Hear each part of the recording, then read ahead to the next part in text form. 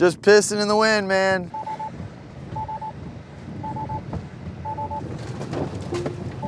Can't stage fright.